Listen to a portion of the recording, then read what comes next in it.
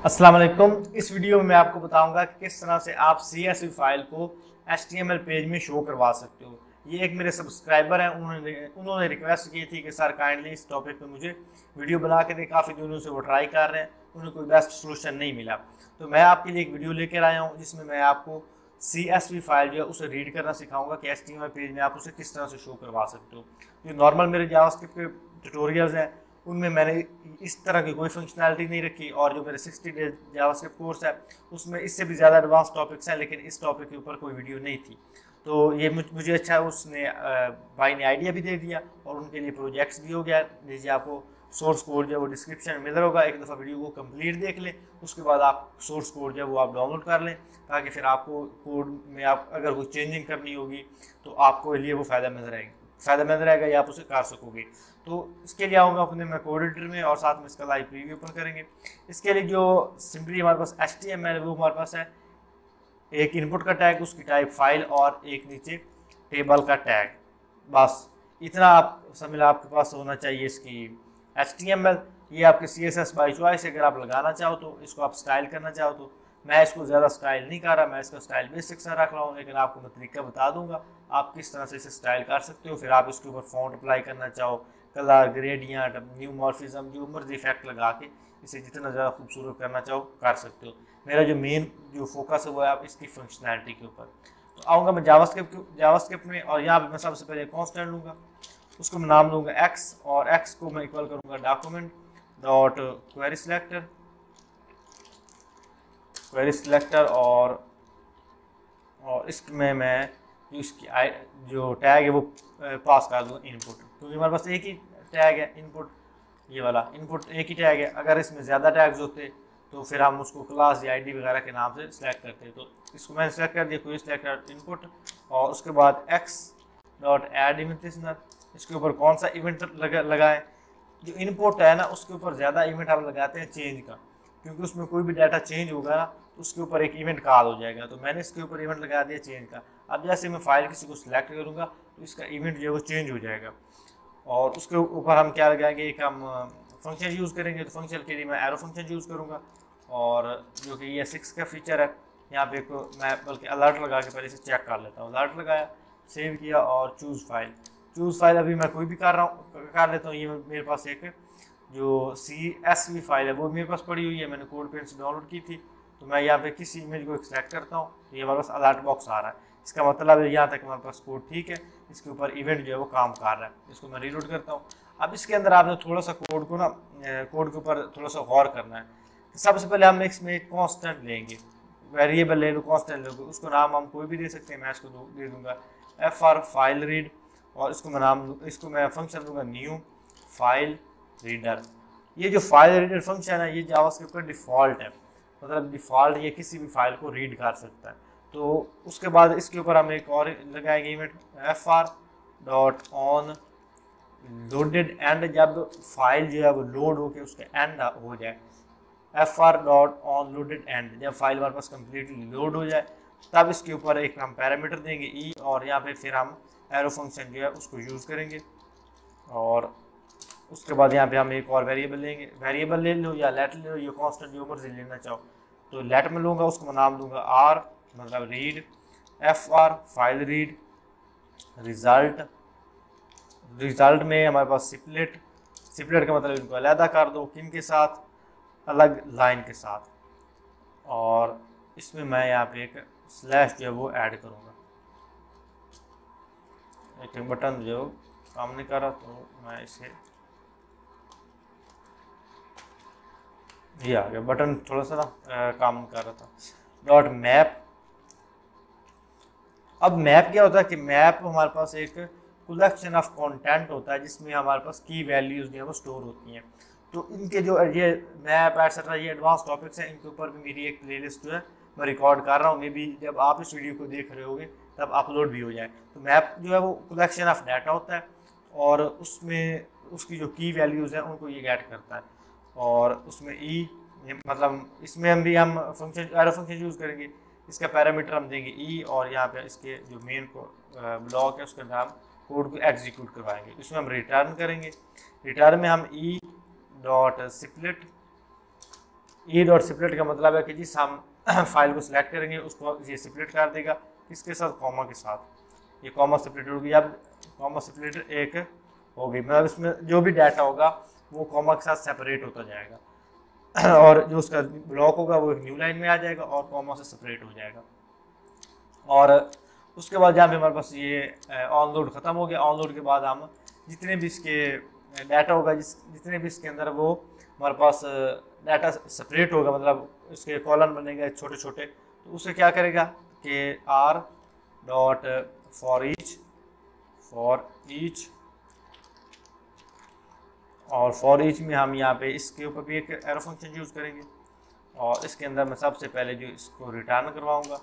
अब यहाँ पे मैं, बल्कि रिटर्न से पहले हम यहाँ पे एक और वेरी लेट लेंगे। लेट को नाम दूँगा एम और M E dot map map मैंने आपको बताया कि कलेक्शन ऑफ़ डाटा जिसके अंदर की वैल्यूज़ होती हैं ई और इसमें हम मज़ीद एरो फ़ंक्शन यूज़ करेंगे। और इसके अंदर मैं रिटर्न में हम रिटर्न करवाऊँगा टी डी तो यहाँ पर मैं बैकट्रिक्स यूज़ करूँगा ताकि इसमें मैं जो हमारे पास normal S T M code है या स्ट्रिंग है, वो भी लिख सकूँ और वेरिएबल को पास करना चाहो तो वो भी मैं करली ब्रैकेट्स के साथ पास कर सकूँ। तो यहाँ पर मैं टी डी का टैग लिखूँगा। T D table data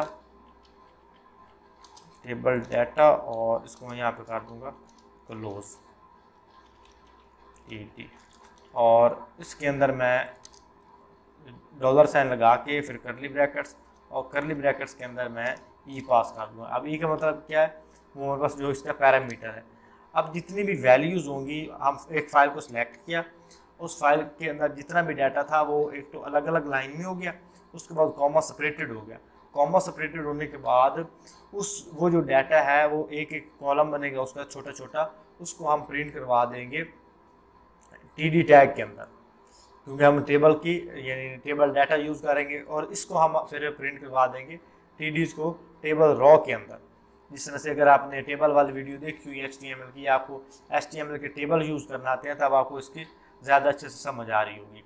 उसके बाद इसके बाद हम कर देंगे डॉट ज्वाइन इसका जितना भी डाटा है, इसको ज्वाइन करें किसके साथ? एक इम्पटी क्योंकि इसके साथ ज्वाइन फ़ंक्शन यूज़ करते हैं तो ये ज्वाइन से सिर्फ़ इम्पटी हम करेंगे, इसमें हम कोई इसमें वैल्यू वगैरह नहीं देंगे।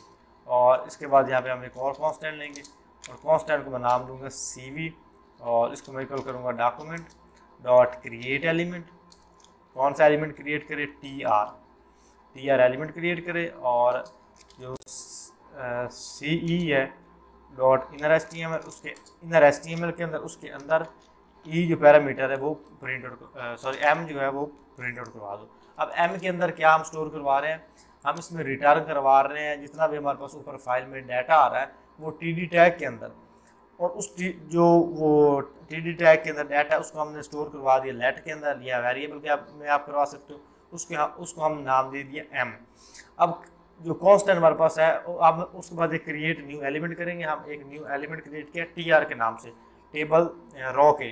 और उसके अंदर हमने टेबल डाटा जो है, वो इंसर्ट करवा दिया। Dot inner S T M L और उसके अंदर एम जब पास किया, अब एम के अंदर हमारे पास टी डी का जो टैग है, इसमें, इसके अंदर जितना भी डाटा है वो स्टोर है। अब इसके अंदर वो डाटा इम्बेड हो गया। अब ऑलमोस्ट हमारी सारी फंक्शनैलिटी जो है वो कंप्लीट हो चुकी। अब इसके बाद हम ये जो टी आ रहा है, इसको हम इम्बेड करवा देंगे टेबल टैग के अंदर। तो यहाँ पे मैं एक और फंक्शनैलिटी यूज़ करूँगा इफ़ यहाँ पे मैं एक कंडीशन लगाऊँगा if C E dot inner H T M L is not not equal to किसके हम इम्पटी मतलब ये इम्पटी अगर ना हो, इसका मतलब क्या है कि हम एक खाली फ़ाइल बिल पर सिलेक्ट कर लेते हैं, जिसमें कोई टेबल डाटा नहीं, कोई उसका डाटा नहीं है तो उसको ये रीड नहीं करेगा। लेकिन अगर उसके अंदर कोई भी डाटा होता, थोड़ा सा भी डाटा होता तो क्या करे document dot query selector query selector में क्या करे कि जो टेबल का टैग है, जो हमने ऑलरेडी वहाँ पे दिया हुआ है यहाँ पे हमने इंडेक्स डॉट एस के अंदर टेबल का टैग दिया हुआ ना, इसको गेट करे और इसके अंदर, यानी इसको अपेंड अपेंड अपेंड के अंदर पास कर दी सी ई अब जो जो टेबल रो है, वो इसके अंदर, इसका अपेंड बन जाएगा, इसके अंदर स्टोर हो जाएगा। अब इसको मैं यहाँ पे चूज़ फ़ाइल करता हूँ और चूज़ फ़ाइल में मैं कोई भी फ़ाइल सेलेक्ट कर लेता हूँ। सिर्फ़ वो सी एस पी फ़ाइल हो या आपकी नॉर्मल टेक्स्ट फ़ाइल हो। और इसको यहाँ से कॉपी करता हूँ। और ये हमारे पास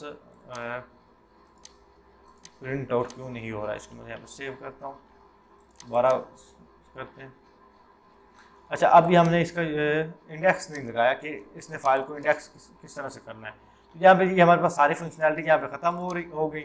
और लास्ट में हम क्या करेंगे कि F R dot read as text कि जो जो फ़ाइल इसके अंदर आई है एफ़ आर के अंदर फ़ाइल रीडर के अंदर उसको इसने रीड करना है एज अ टेक्स्ट आप इसको एडिट नहीं कर सकते। तो क्या करें कि एक्स जो हमारे पास फ़ाइल है डॉट फ़ाइल और इसका इंडेक्स ज़ीरो अगर मतलब हम जो जो भी फ़ाइल सेलेक्ट करेंगे जो हमारे पास एरे होता है ना, उसका इंडेक्स नंबर ज़ीरो से स्टार्ट होता है। तो जो फ़ाइल हमारे पास आएगी, उसका, हमारे पास इंडेक्स नंबर जो ज़ीरो का वहाँ से ये फ़ाइल को रीड करना स्टार्ट कर देगा। यहाँ से इसको चूज़ फ़ाइल करूँगा, और यहाँ से अब फ़ाइल को सिलेक्ट करूँगा। और अब हमारे पास क्या एरर आ रहा है, इसे मैं एक दफ़ा देख लेता हूँ। इंस्पेक्ट एलिमेंट करते हैं और कंसोल में। अब कंसोल में पास पास, हमारे पास जो एरर आ रहा है, वो आ रहा है कहाँ पे? सिक्सटीन लाइन पर सिक्सटीन पर। तो मैं एक दफ़ा सिक्सटीन लाइन पे चला जाता हूँ। यहाँ पे हमारे पास ये और इसको देख लेता हूँ कि एरर क्या शो कर रहा है। Can not read properly of undefined और अनडिफाइन क्यों ही कर रहा? और एक दफ़ा मैं इससे अच्छा इसको मैं थोड़ा सा बड़ा कर लेता हूँ, यहाँ हो गया। और तू इधर हो। यहाँ अच्छा अब इसके अंदर हम्म, हमारे पास अच्छा हम यहाँ पे इसको मैप करवा रहे हैं तो इसके साथ हमने इसको ज्वाइन करवाना था। इसके साथ इसको हम यहाँ से काट करेंगे और यहाँ पे हम इसको ज्वाइन करवाएँगे। और अब ये हमारे पास ये हमारे पास यहाँ से स्टार हो रहा है। तो जितना भी हमने कोड लिखना है वो इस ऑन लोडेड के अंदर लिखना था। तो इसको यहाँ से मैं कर लेता हूँ कट इसको भी यहाँ से और इसको मैं लास्ट में ला के जहाँ पे हमारे पास ये एफ़ आर एंड हो रहा है, उसके बाद में इसको पेस्ट कर दूँगा यहाँ पे। अब सेव किया, अब इसे हम चेक करते हैं। चूज़ फ़ाइल किया और अब इसको सेलेक्ट किया अब हमारे पास फ़ाइल आ रही है। ये हमारे पास फ़ाइल आ गई वो हमारे पास ना ये कोड इशू था, हमने एक तो ज्वाइन नीचे लगा दिया था और जो हमने कोड जी सारा लिखना था, वो हमने लिखना था ऑन लोडेड के अंदर, जब हमारे पास फ़ाइल लोडेड हो जाए। तो जब उसमें हमारे पास एरर होगा तो ये कोड आगे पीछे होगा तो हमारे पास एरर ही शो होगा। मजीद आप सोर्स कोड में जाके इसको कंपेयर कर सकते हो। अच्छा अब यहाँ पे इसको मैं कर कर देता हूँ। अब इसके अपने स्टाइलिंग किस तरह से करनी है? मेरे पास यहाँ पे इंडेक्स डॉट एस के अंदर मैंने internal C S S use की मैंने एक्सटर्नल सी एस एस में यूज़ नहीं की। तो यहाँ पे हमारे पास मैं इसके एडवांस सेलेक्टर यूज़ कर रहा हूँ। N T H child one जो इसका चाइल्ड वन है मतलब फ़र्स्ट रो मतलब टी आर उसका चाइल्ड वन उसका बैकग्राउंड कलर ब्लैक कर दो। और यहाँ पे अगर मैं इसका ग्रीन करना चाहूँ तो यहाँ पे इसका ग्रीन भी कर सकता हूँ और इसको यहाँ पे अलग फ़ाइल सेलेक्ट करूँगा दोबारा। और ये इसका ग्रीन हो गया। तो सेम इस तरह से उसके बाद इवन और आड तो ये हमारे पास जो है, ये हमारे पास इवन है इवन है, क्योंकि ये हमारे पास एक हो गया, एक के बाद दो दो हमारे पास इवन होता है। फिर उसके बाद आड इवन आड। तो जो इवन वाले हैं, उनको एक अलग से स्टाइल हमने दे दिया, उसके ऊपर बैकग्राउंड कलर लगा दिया और जो ऑड वाले हैं, उसका बैकग्राउंड कलर हमने कर दिया वाइट आप इसमें मजीद चेंजिंग कर सकते हो इसका फॉन्ट साइज़ इंक्रीज करना चाहो करना चाहो तो जिस तरह से मैंने यहाँ पे किया है, इसकी हाइट इंक्रीज करना चाहो और यहाँ पे कोई भी आप प्रॉपर्टीज़ लगाना चाहो, सारे इसके ऊपर आप अप्लाई कर सकते हो। बस ये रीडेबल है, आप इसे रीड कर सकते हो, लेकिन आप इसको एडिट वगैरह नहीं कर सकते। तो that's it I I hope आपको वीडियो पसंद आई होगी और जिस भाई को मैंने ये वीडियो जिस भाई के लिए बनाई थी उसका मुझे नाम तो याद नहीं आई थिंक शाह का क्या था। तो भाई आपकी अब प्रोजेक्ट रेडी हो गया आई होप आपको भी वीडियो पसंद आई होगी। अगर आप में से किसी और का किसी प्रोजेक्ट के हवाले से कोई क्वेश्चन हो तो या कोई आइडिया हो तो आप नीचे कमेंट सेक्शन में मुझे सजेस्ट कर सकते हो। अगर वो पॉसिबल हुआ बनाना मेरे लिए तो मैं उसको बनाऊँ बनाऊँगा और आपके लिए एक ट्यूटोरियल भी उस, उसके ऊपर बना दूँगा। तो इनशाला मिलते हैं किसी और प्रोजेक्ट में तब तक के लिए अल्लाह हाफिज़।